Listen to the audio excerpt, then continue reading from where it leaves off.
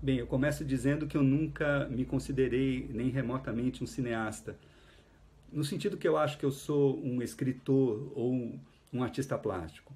Eu acho que há algumas linguagens que eu sinto que eu habito e outras que eu ocupo ou invado. O cinema acho que é uma dessas de ocupação ou invasão, tanto que ele sempre teve parceria, né? O Clima, meu, meu parceiro Clima, o Gustavo Moura, foram parceiros sempre muito importantes. Eu cheguei a filmar uh, sozinho, mas quase sempre em parceria.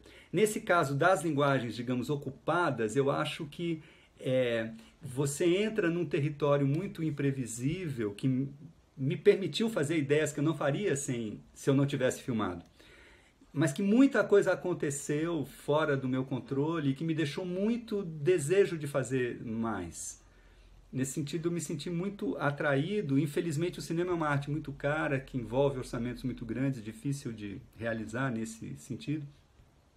Mas eu tenho muita vontade é, de voltar a este lugar, apesar é, de é, ter com o cinema uma relação mais de ocupação mesmo, de uma coisa que eu entro sem saber bem, bem onde eu estou tenho pouco tempo, né, que o dia de filmagem é caro, blá blá, a gente tem que fazer, é, resolver aquilo.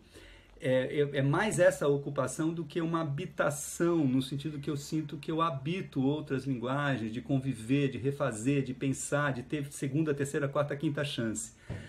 Acho que no cinema é outra coisa. É, mas eu queria mais.